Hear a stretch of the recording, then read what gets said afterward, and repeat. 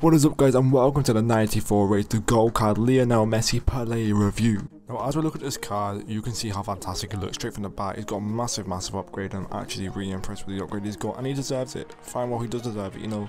The pace downgrade by one mm, was it deserving maybe not.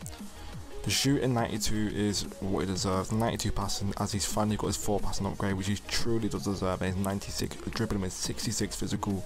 Now you're probably wondering, Edie bro, you've only played 3 games. Well, no, I've played like 7. I played some friendlies because I could not win in Division Rivals in Division 3 with just trying to abuse Messi. I just couldn't seem to win. I was conceding the stupid goals. So I was like, I'll play some friendlies instead. Um, we got his in-game stats. I put a Hawk chemistry style on them to boost some of the stats and just look at them. 99 finishing, 99 attack positioning, 84 or 88% read, 95 acceleration, 96 volleys, 94 shot power. I mean, wow, look at the card.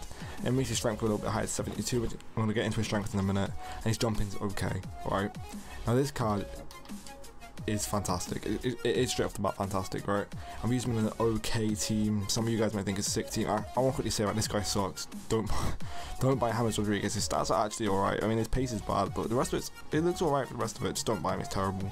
He's literally like a like a bin. He just doesn't move. Right? Well, bin without wheels. But yeah, Messi, right? I found a few things with this card. I'm getting to the clips and show you as an example of what I did and what I didn't actually like about the card. There's a few things I didn't actually like about which which kind of surprised me a little bit. I got them really cheap by the way.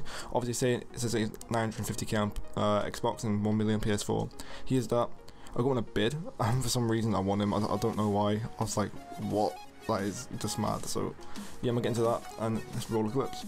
Now, as you'll see with Messi, he is just, he's got this air about him, where he's in the right place at the right time. He can just run through players like it's nothing. It's not quite like using memory of life, but he's still he's still got the air like Messi has. Like you know, Messi's got his own style to his play, and that's exactly what he can do in this game. He can just run through players like nothing. But at times I've noticed he does get caught up. But look at this, right? Running through the team, no one can get anywhere near him, and bang! Look at that for finish, easy as you like.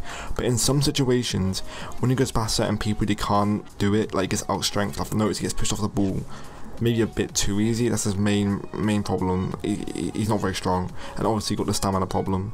So, I mean, stamina mixed with the lack of strength isn't exactly the best thing in the world, but I think if you've got this kind of team where it can complement how good he is, like if you've got a team with Neymar or like Ronaldo, or you've got a team to match how good Messi actually is, I think he can be a straight 10 out of 10 player. He fits the meta of this game perfectly. All he needs is a couple of informs to get stamina up. Maybe his team of the year is going to be absolutely fantastic. I, I guarantee he's going to be absolutely fantastic now. He is just going to be fantastic, like straight up he is already good enough as it is. In FUT Champions, this guy is going to be do wonders for him. Look at him. No one gets anywhere near him. No one gets anywhere near him. Bang. Easy to like. And this guy rage quit the game, which I thought was pretty funny. Because Messi's that good. I mean, he is that good. Now, I'm going to be selling him because I think it's too much to pay for what he does. I think Lucas Moura or someone can do just as good a job as him, to be honest. So, I think for the price, I give him a 4 out of 10. I'm not going to lie. Like, I think 700k is more fitting for him. I mean, Lucas Moura literally does the same job as him. Obviously, Lucas Moura isn't as good, but he does the same job. So, I mean, is he really worth it? I don't know. Lucas Moura, Aguero, Son. Mm, I say Messi out of 10 for about 9.6. He's a luxury player. You, you, you, don't pay all your coins to get him, sort of thing. There's players that can do the exact same job as him, get the same goals and all that. It's just Messi's just better at certain things. In certain areas, he'll score more goals. But overall, I give Messi a 9.7 out of 10. Yeah, I say it's fair enough. And I might bring a Lucas Moura review out. I'm not sure. I'm thinking about it. So yeah, that's the gist of the route, guys. And yeah, peace.